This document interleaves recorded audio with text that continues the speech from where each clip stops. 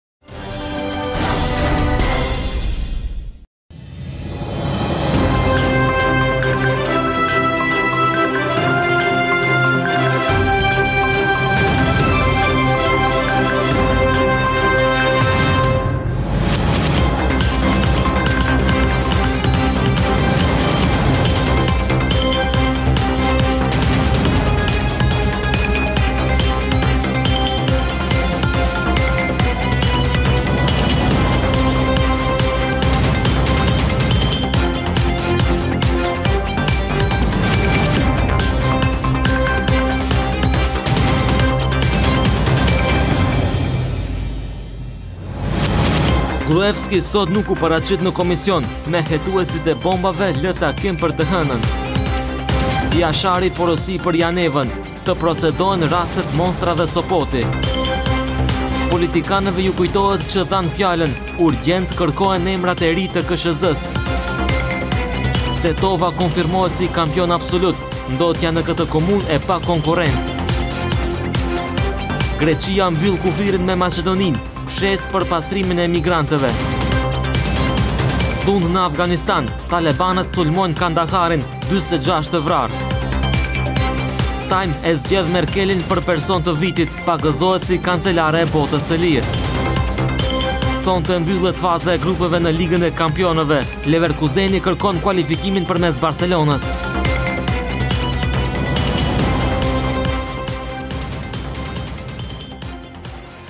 Mirëmbrëma shikues të nderuar dhe mirë se vini në magazinën informative të orës 18.30 minuta. Edhe pse ishte paralajmëruar, Kryeministri Nikola Gruevski sot nuk u paraqit para Komisionit Hetimor për të dhënë dëshminë e tij mbi përgjimet. E arsyeja e tij ishte se ka qenë i zënë me aktivitete qeveritare ndërsa dëshminë do ta japë më 14 dhjetor. Anëtarët e Komisionit pas këtij dështimi, për nesër caktuan seancën e radhës.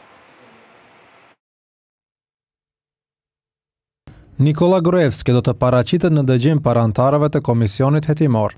Antonio Milloshovski nga VMRO-DPMNE-ja kërkoi që anëtarët e Komisionit t'i kenë parasysh njoftimet e kryeministrit Nikolla Gruevski dhe të ministrit të Financave Zoran Stavrevski. Gruevski, siç tha Milloshovski, nëpërmjet një njoftimi të shkruar, është shprehur se do të paraqitet para Komisionit për skandalin e përgjimeve më katërmbëdhjetë dhjetor.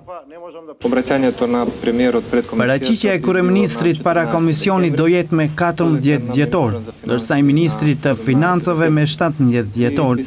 Sipas orarit të përcaktuar të punës, Gruevski dhe dëshmitarët e tjerë është dashur ta njoftojnë Komisionin deri më shtatin të këtij muaji se në cilën datë prej nëntë deri pesëmbëdhjetë dhjetor do të mund të dëshmojnë para Komisionit. Për hir të së vërtetës, sot ministri Zoran Stavrevski është deklaruar deri te Komisioni Hetimor se do të mund të marrë pjesë, të dëshmojë dhe të merret në pyetje më shtatëmbëdhjetë dhjetor, pas orës katërmbëdhjetë, gjë që është jashtë afateve që u caktuan në këtë komision.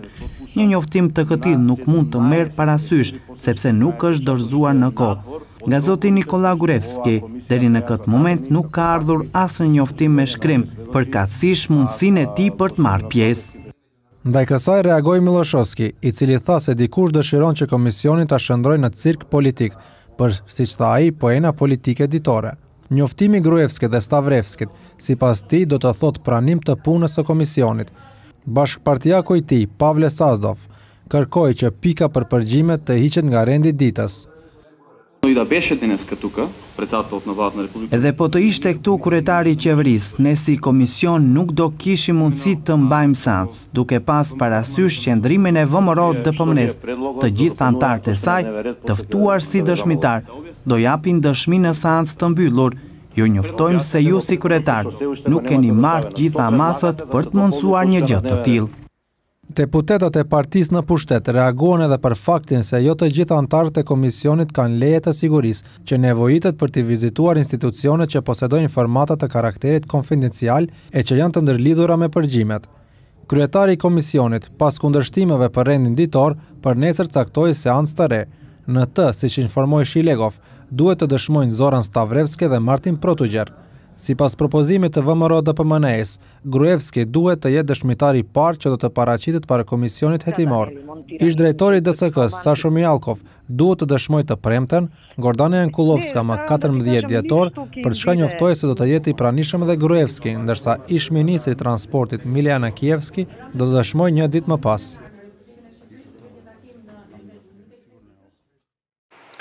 Rreth mosparaqitjes së sotme të kryeministrit Gruevski si dëshmitar para Komisionit Anketues të Parlamentit për përgjimet, në Facebook fan faqen e tij u prononcua edhe lideri i LSDM-së, Zoran Zaev.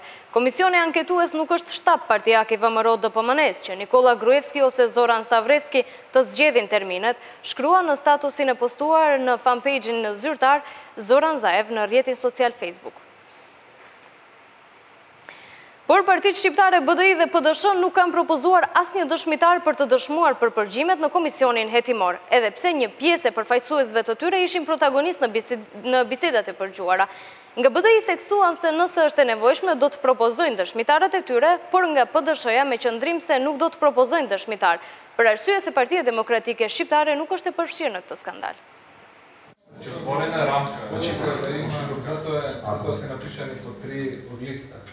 Edhe pse dëgjohet zëri i figurave të shquara partiake në materialet e përgjuar që publikoi opozita, dy partitë shqiptare, BDI dhe PDSH, të painteresuar për të propozuar dëshmitarë për komisionin anketues.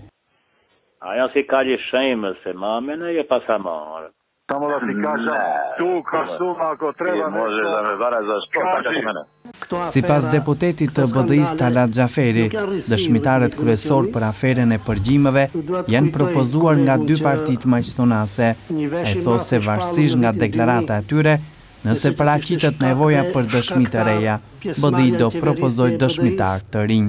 Fakti që në seancën paraprake Bashkimi Demokratik për Integrim nuk ka propozuar dëshmitar që do t'i ndëgjonte apo do t'i hetonte, bazohet në atë që dy subjektet më të mëdhaja kanë propozuar dëshmitarët kyç, të cilët janë edhe bartës të funksioneve politike në Republikën e Maqedonisë. Ndërkohë, nga PDSH theksuan se nuk propozojnë asnjë dëshmitar për shkak se sipas tyre, PDSH nuk është e përfshirë në këtë skandal. Jo vetëm PDSH-ja, po tash janë bindur edhe qytetarët, veçmas shqiptarët se ne nuk ju besojmë njerëzve të cilët janë ato institucione. Përveç kryeministrit Nikolla Gruevski, anulimin e dëshmisë për nesër e bëri dhe ministri i Financave Zoran Stavreski.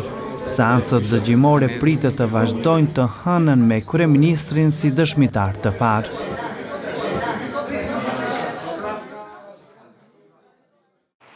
Prokurorja speciale Katica Janeva duhet të inicojë procedurat e reja për rastet Monstra dhe Sopoti. Këtë e theksoi sot ministri i Drejtësisë Adnan Jashari, duke vlerësuar se prokurorja Janeva këtë mund ta bëjë në kuadër të kompetencave të saj.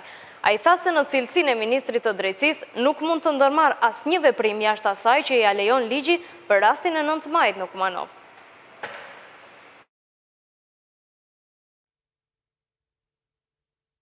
Si ministri i drejtësisë, thot, mund me kërku, edhe do kërkoj, thot, sigurisht që të marrë informata të sakta nga, në veçanti, thot, nga organet që në farë mënyre kanë kompetencë për të vërtetuar se ka apo jo ndërmarrje masave që ju i theksoni si torturë ndaj personave që në këtë fazë sot konsiderohen si të akuzuar. Po unë kam deklaruar se në kuadër të kompetencave të veta, prokurorja speciale duhet të vendosë për të gjitha çështjet të cilat apo për të gjitha rastet të cilat në bazë të informatave që ajo do i posedojë Do vlerësoj se ka elemente për të inicuar procedurët penale, përfshirë këtu edhe rastin Sopot, Monstra, por edhe raste të tjera, për shkak se në Republikën e Maqedonisë ka disa raste që në një farë mënyre thotë janë të njohur për opinionin e gjerë. Maqedonia duhet të përmbushë reformat në sferën e drejtësisë. Për këtë sot u mbajt takim konsultativ lidhur me përgatitjen e strategjisë për reformat në sektorin e drejtësisë për periudhën dy mijë e gjashtëmbëdhjetë, dy mijë e njëzet.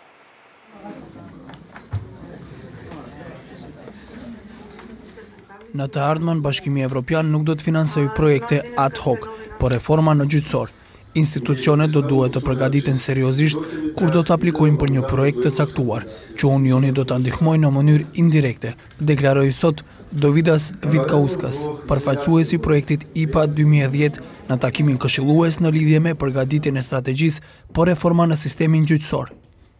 Aktorët në gjyqësor janë relativisht të ngadalshëm kur veten e shohin si struktura drejtuese apo udhëheqëse. Me gjasa këta duhet të kenë më pak advokatë dhe përfaqësues ligjorë, ndërsa shumë më tepër profesionalistë, që do të merren me koordinimin e aspektit financiar. Vitkauskas konsideron se në zbatimin e deritanishëm të projekteve, është gabim që institucionet që janë në fund të hierarkisë nuk janë të përfshira në mënyrë të duhur. Prandaj, konsideron ai, në të ardhmen çdo institucion nga fusha e gjyqësorit do duhet të ketë zhvilluar kapacitet të duhur për planifikim dhe do duhet të ketë një njeri i cili do të mendojë edhe për të ardhmen, e jo vetëm t'i mbulojë ato lëshime që paraqiten për çdo ditë. Profesori universitar Gordan Kallajxhiev pyet se si ekspertët e kanë përpunuar strategjinë për reforma, kur në të fare nuk përmenden direktivat evropiane. Ka shumë pak tekst dhe shumë pjesë që i ngjan një programi aksional, dhe tani duhet t'i lidhim që të tregojmë se çfarë duhet të bëjmë, çfarë kontributi kanë dhënë ekspertët vendorë në pregaditjen e kësaj strategjie dhe si kanë ndikuar dobësitë të konfirmuara në raportin e Komisionit Evropian dhe të Grupit të Pribesë. Vitkauskas shpjegoi se në projekt-strategjinë janë të definuara blloqet kyçe institucionale dhe tematike për reforma në gjyqësor, sistemi juridiko-penal, qasja në drejtësinë dhe transparencën, politika dhe koordinimi gjyqësor-administrativ, sistemet informative dhe drejtësia elektronike. Përveç ministrit të Drejtësisë, Adnan Jasharit, në takim morën pjesë edhe përfaqësues të të gjithë institucioneve gjyqësore, përfaqësues nga Drejtoria e Mbrojtjes së të Dhënave Personale dhe prej organizatave joqeveritare.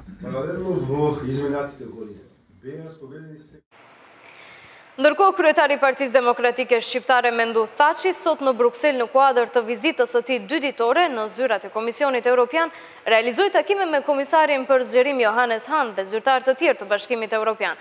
Pas takimit, kryetari i PDSH-së ka dhënë detajet se cila ka qenë agjenda e tij në Bruksel.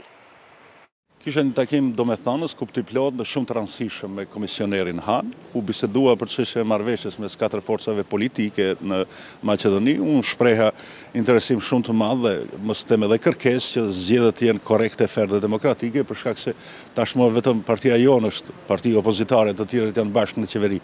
Në anën tjetër po ashtu shpreha shqetësim shumë të madh që tema e marrëdhënieve ndëretnike dhe çështja e implementimit të saktë të Marrëveshjes së Ohrit nuk po vijnë, nuk po vijnë ende sot edhe kësaj dite në tavolinën e bisedimeve dhe kjo jep një performansë shumë të keqe, negative, se gjithë kjo tavolinë e rëndësishme, dialogut të rëndësishëm po i përjashton shqiptarët.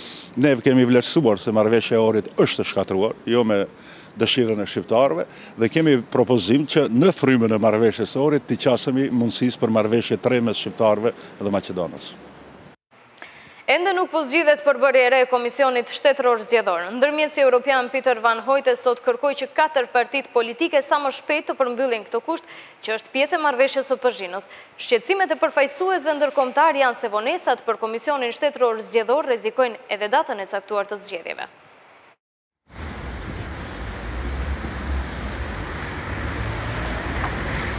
Ndërmjetësuesi evropian Peter Vanhoutte pret që katër partitë politike që sot të arrijnë marrëveshje për zgjedhjen e përbërjes së re të Komisionit Shtetëror Zgjedhor.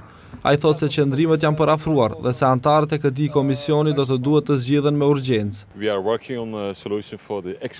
Jemi duke punuar në pjesën e ekspertëve që duhet të jetë pjesë e komisionit, që ajo të votohet prej Parlamentit së bashku me pikat tjera të marrëveshjes nga partitë tjera politike. Por do të duhet të kemi këtë çështje të zgjidhur sa më shpejt që është e mundur. Mendoj që po afrohemi në të gjitha pikët, por do të duhet kohë që të arrihet marrëveshjes, por shpresoj që ajo të arrihet që sot. Si temë më e nxehtë është përzgjedhja e tre anëtarëve ekspertë. Sipas ndërmjetësuesit Vanhoutte, lista e kandidatëve që janë paraqitur është e shkurtuar, por sipas tij është e rëndë që të gjinden ekspertët më të mirë, që njëkohësisht do të duhen të jenë pa ngjyrime politike. Nga ana tjetër nuk ka asnjë të dhënë nga katër partitë politike të cilat duhet të arrijnë kompromis. Përbërja e re e KSHZ-së do të ketë nëntë anëtarë, gjashtë nga partitë politike, prej të cilëve tre të propozuar nga pushteti dhe tre nga opozita. Kryetari dhe nënkryetari i Komisionit Shtetëror Zgjedhor zgjidhen nga ana e ekspertëve. Sipas marrëveshjes së Përzhinos, komisioni do të ketë kompetenca më të gjera. Ai do të vendosë edhe për vetot e ministrave dhe zëvendësministrave në kuadër të qeverisë kalimtare.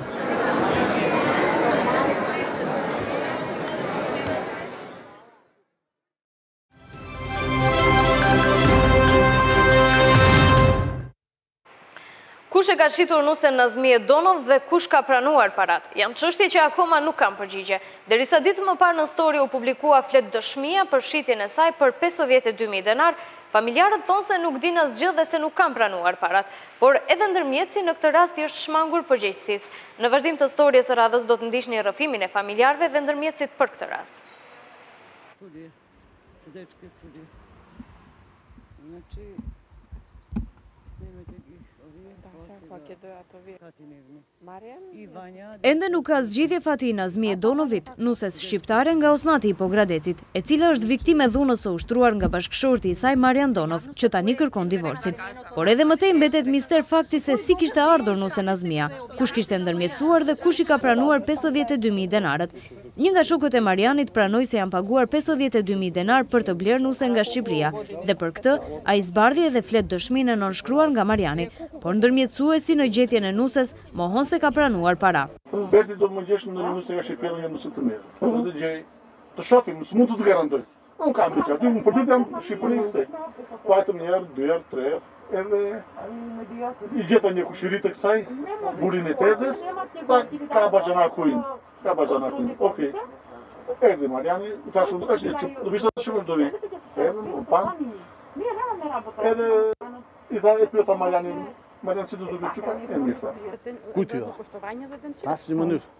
Mariani ka dhënë para.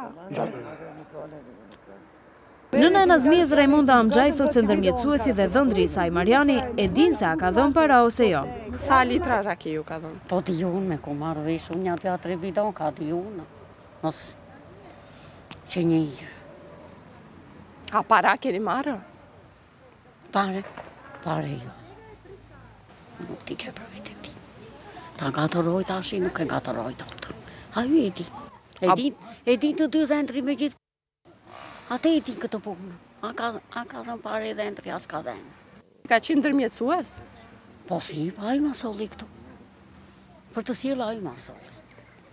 Ndërsa Marian Donov javën e kaluar mohoi se ka dhënë para për të blerë Nazmijen.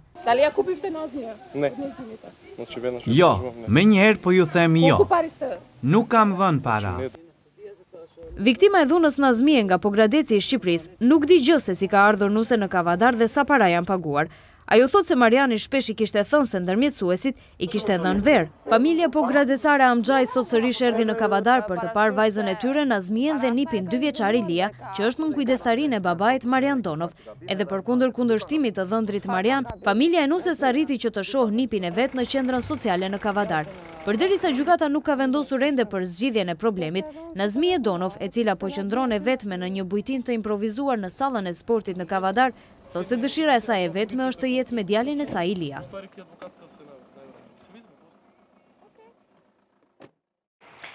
E sa i përket korrupsionit, Maqedonia ende është në nivel të ullët për denoncimin e rasteve të paraqitura për korrupsion. Një analizë e publikuar sot tregon se më të korruptuar në vend janë mjekët, gjykatësit dhe nëpunësit e administratës.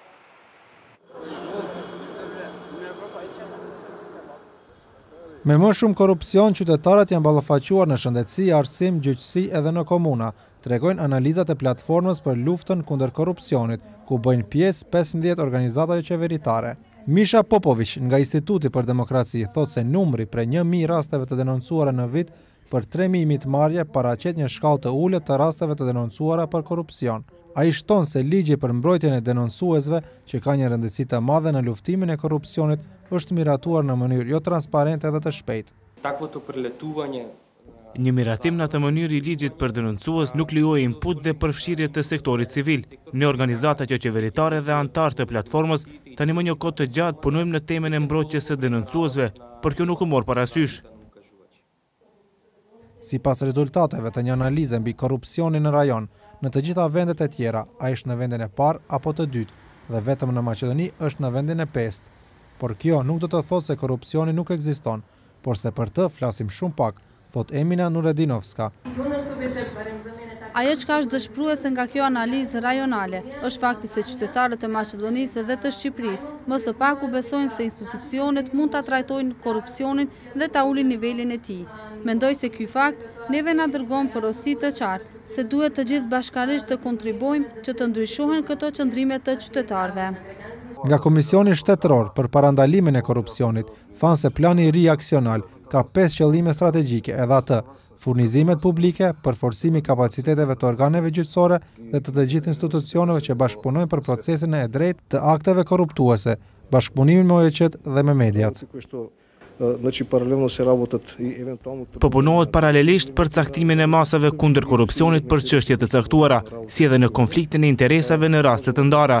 Nuk mund të tregoj numrin e lëndëve, por po punohet aktivisht në të dy masat. Ministri i Drejtësisë, Jashari, tha se në përputhje me rekomandimet e GRECO-s, Do të përgatiten ndryshime të Ligjit për Parandalimin e Korrupsionit në drejtim të precizimit të termeve anëtar i familjes dhe pronë e luajtshme me vlerë më të madhe, në kontekst të listave anketuese. Për zbatimin e Ligjit për Denoncuesit do të përgatiten edhe akte nënligjore. Prokuroria Publike në Shkup ka hapur lëndën hetimore për rastin e letërnjoftimeve të falsifikuara që para disa javëve u nxorën nga Javorja Fokus. Në komunikatën e prokurorisë theksohet se në rrjedhë është procedura parahetimore dhe se janë të nevojshme materiale të tjera shtesë. Prokuroria vlerëson se lidhur me këtë rast nuk do të jepen detaje, duke u bazuar në nenin dyqind e tetëdhjetë e nëntë të Kodit Penal për mospublikimin e informacioneve sekrete. Zëvendësministri i Bujqësisë nga radhët e LSDM-së Lupço Nikollovski kërkoi sot dorëheqjen e ministrit Mihal Cvetkov lidhur me keqpërdorimet gjatë dhënies së tokave bujqësore. Sipas tij, dorëheqja e ministrit aktual do të mundësojë një hetim të drejtë për keqpërdorimet në Ministrinë e Bujqësisë. Nikollovski kërkon dokumentacionin nga ministri aktual që të dëshmohet se ka filluar procesi hetimi për drejtorin e Njësisë së Manastirit për drejtorin e Njësisë së Manastirit Ilija Sërbenovski. Objasnuvanjeto na Ministerstvoto, deka se vodi interna istraga. Shpjegimi i Ministrisë se ka një hetim të brendshëm për rastin ku drejtuesi i njësisë rajonale i Ministrisë në Manastir, Ilija Sërbinovski, por edhe për kontrata tjera të nënshkruara, e bën skandalin edhe më të madh. Marrëveshja me të cilën është të shkel ligji për tokë bujqësore është nënshkruar në janar të vitit dy mijë e pesëmbëdhjetë. Ajo do të thotë se për pesë vjet të tëra kontrolli në Ministri nuk ka funksionuar, Dhe kjo hap dyshime për keqpërdorime në vetë ministrinë. Është e paimagjinueshme se si ministria ka lejuar këtë punë jashtëligjore, që ka dëmtuar edhe qyetarët dhe bujqit për pesë vite të tëra.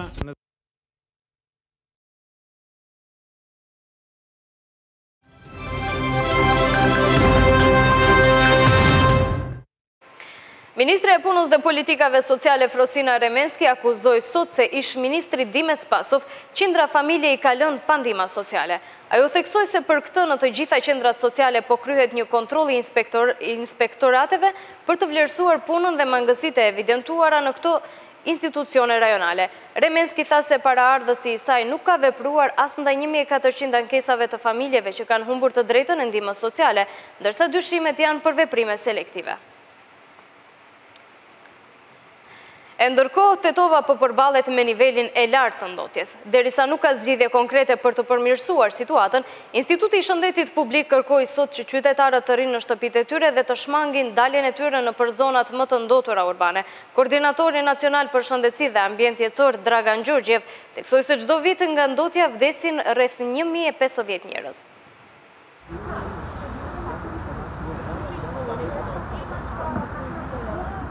Ndotja në Tetovë po vazhdon të jetë në nivel më të lartë. Sipas matjeve të fundit, Tetova ishte qytet me ajër më të ndotur dhe katërmbëdhjetë herë më tepër se niveli normal i ndotjes.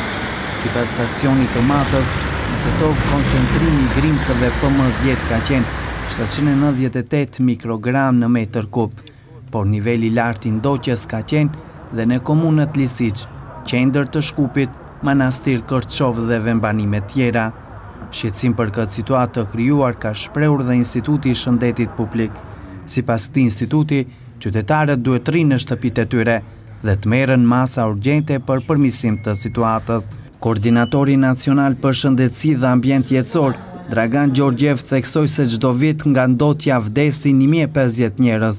Sipas tij, katërdhjetë për qind është rritur numri i qytetarëve që kërkojnë ndihmë mjekësore, kryesisht pacientë me sëmundjen e mushkërive, sëmundjet kardiovaskulare. Instituti për Shëndet Publik do të përcjellë rekomandimet për shkaktarët e ndotjes, që sipas tij vjen nga veturët e vjetra dhe djegia e mjeteve të plastikës ose vajit me çka thotë nevojiten kontrolle nga inspektorët. O tipot na Sa i përket rekomandimeve, ato mund të jenë ndërprerja e punëve ndërtimore në periudhën kur ka ndotje më të madhe të ajrit, ndërsa do të rekomandohet edhe mbyllja e shkollave dhe foshnjoreve.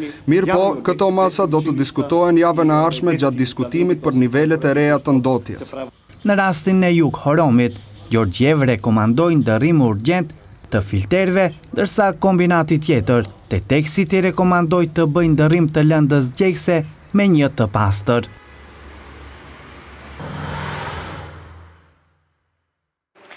Lidhur me ndotjen e ambientit jetësor, sot pati përplasje midis dy partive më të mëdha, VMRO-DPMNE dhe LSDM.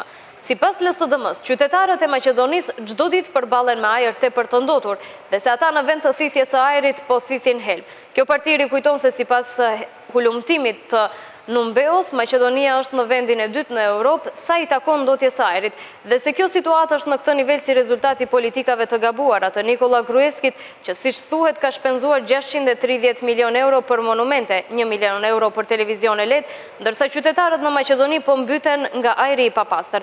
Ndërkaq nga VMRO-DPMNE-ja theksuan se LSDM-ja vazhdon me sjellje joserioze ndaj problemit sa i përket ndotjes së ajrit. Ata thonë se për dallim nga LSDM-ja, qeveria e VMRO-DPMNE-së zbatoi ligjin që të gjitha kapacitetet industriale t'i modernizojnë teknologjitë e tyre deri në një prill të vitit dy mijë e gjashtëmbëdhjetë.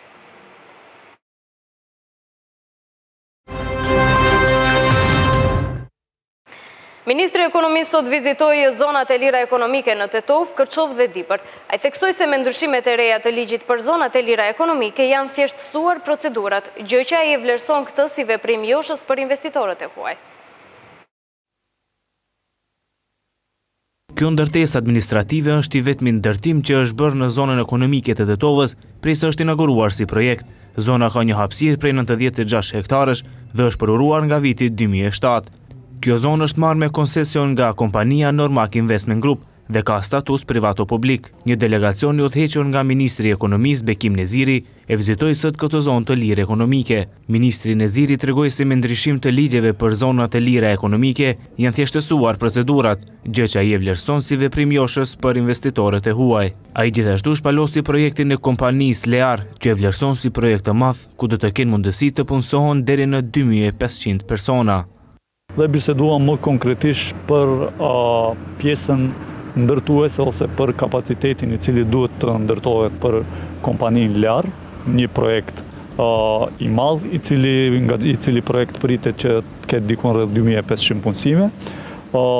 Javën e kaluar nga ana e Ministrisë së Ekonomisë u dha vendimi për përgaditjen në aspekt përgaditor që të mund të fillon ndërtimi dhe besoj që deri ditën e premte të kësaj javës do marrin edhe lejen për ndërtim.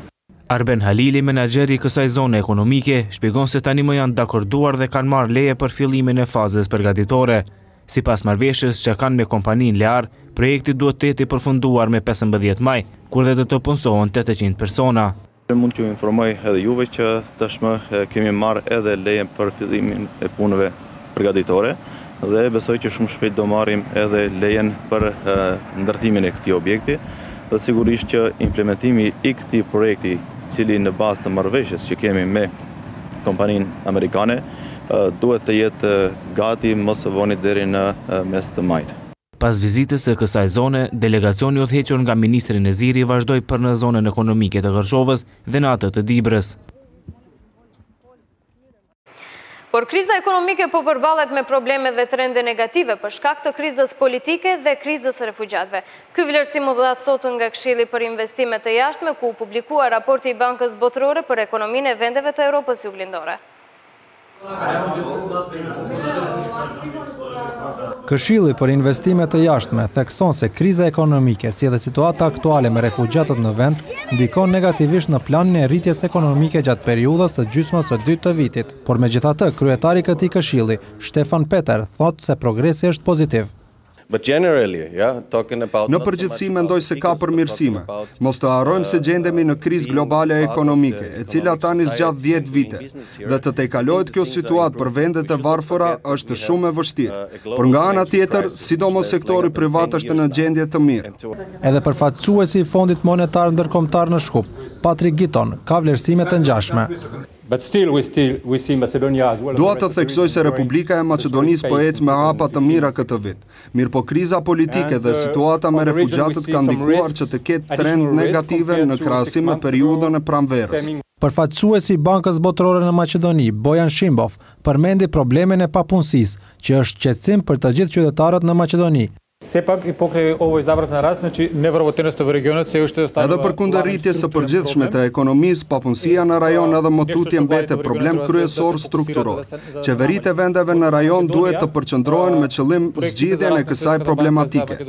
Sipas projeksioneve tona rritja ekonomike e Maqedonisë është tre presje dy për qind dhe paraqet rritje solide në këtë rajon. Këto vlerësime u dhanë sot me rastin e publikimit të raportit të Bankës Botërore për ekonominë e vendeve të Evropës Juglindore. Sipas këtij raporti, ekonomia e shteteve të Evropës Juglindore shënon rritje të përshpejtuar.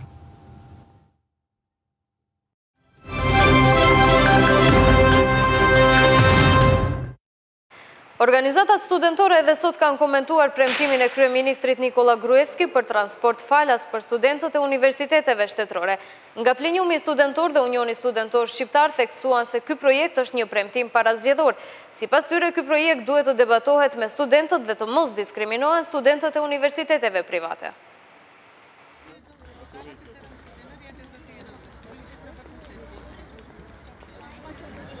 Gjatë prezantimit të festivalit treditor që do të organizojë Plenumi Studentor, anëtari i saj Darko Milanovski komentoi edhe njëherë lirimin nga pagesat e transportit publik për studentët. Ai tha se kjo që bën shefi i qeverisë nuk është asgjë tjetër veçse pjesë e fushatës së tij parazgjedhore.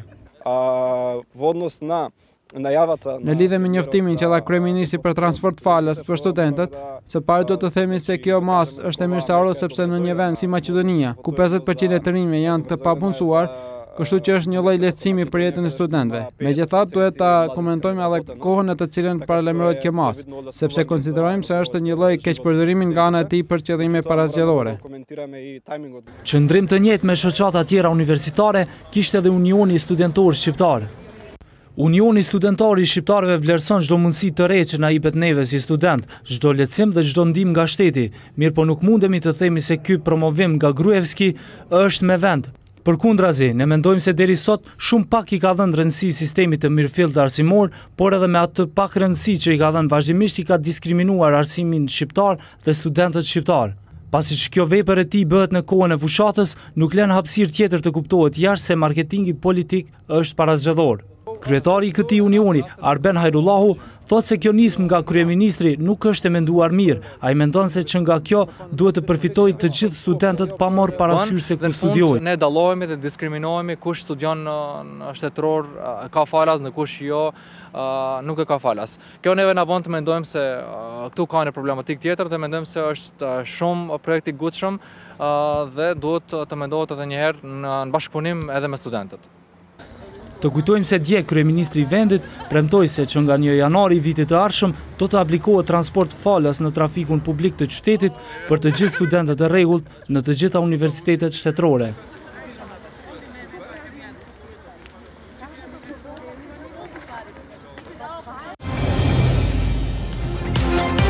Greqia mbyll kufirin me Maqedoninë, fshesë për pastrimin e migrantëve. Dhunë në Afganistan, talebanët sulmojnë Kandaharin, 26 të vrarë. Time e zgjedh Merkelin për person të vitit, pagëzohet si kancelare e botës së lirë. Sonte mbyllet faza e grupeve në Ligën e Kampionëve, Leverkuzeni kërkon kualifikimin përmes Barcelonës.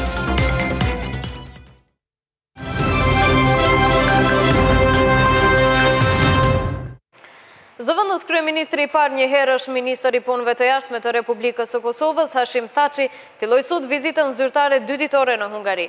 Zëvendës kryeministri Thaçi dhe sekretari hungarez i shtetit për zhvillim ekonomik János Fonagy nënshkruan marrëveshje për transport rrugor të udhëtarëve dhe mallrave, ndërsa për nesër është caktuar takimi me kryeministrin hungarez Viktor Orban.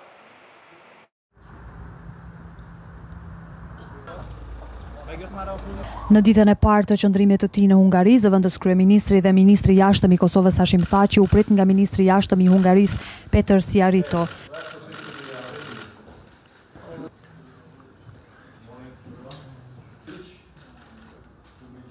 Pas takimit të dyja delegacioneve u nënshkruan edhe dy marrëveshje, ajo për bashkëpunimin ekonomik në mes të Kosovës dhe Hungarisë, si dhe marrëveshjen për qarkullim të lirë të njerëzve dhe të mallrave.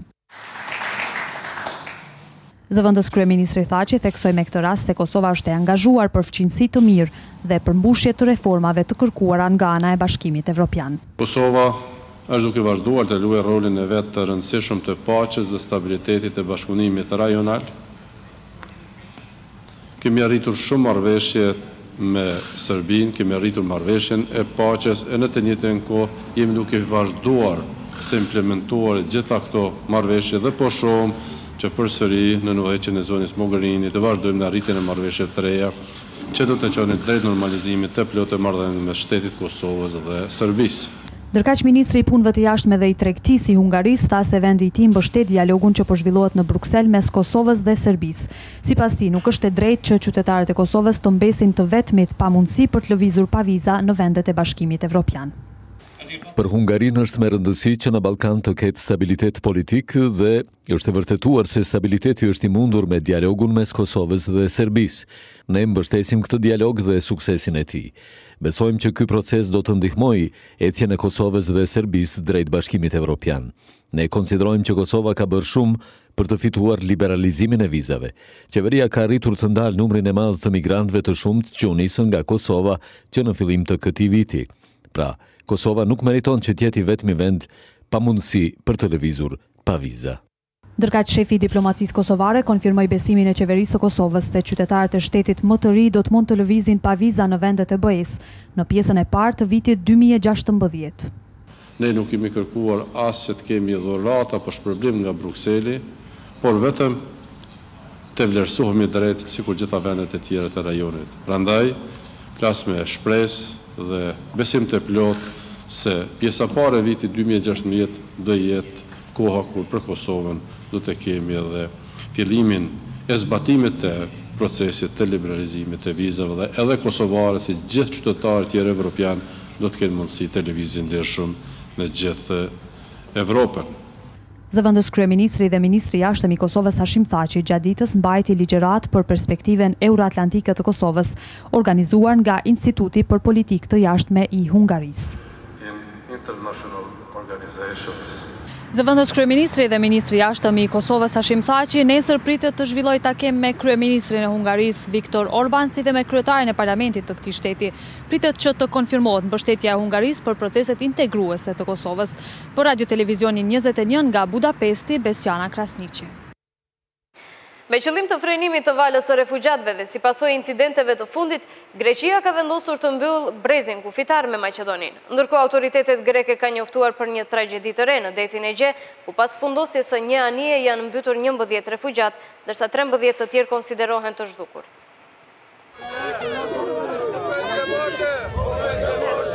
Policia greke ka mbyllur një kalim kufitar me Maqedoninë dhe nuk po lejon refugjatët që t'i afrohen më afër se 5 kilometra.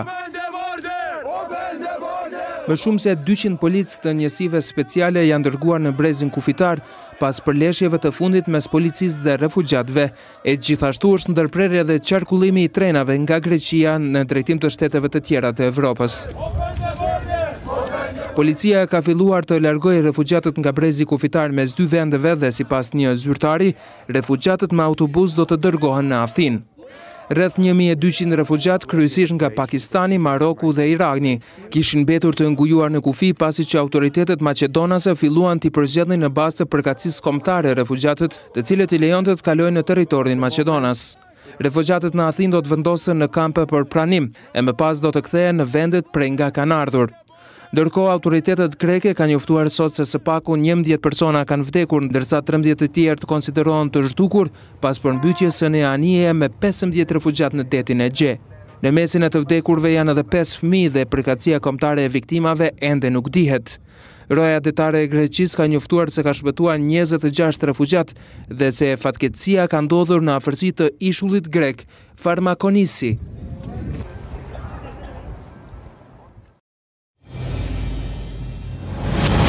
Gruevski sot nuk u paraqit në komision, me hetuesit e bombave lë takim për të hënën.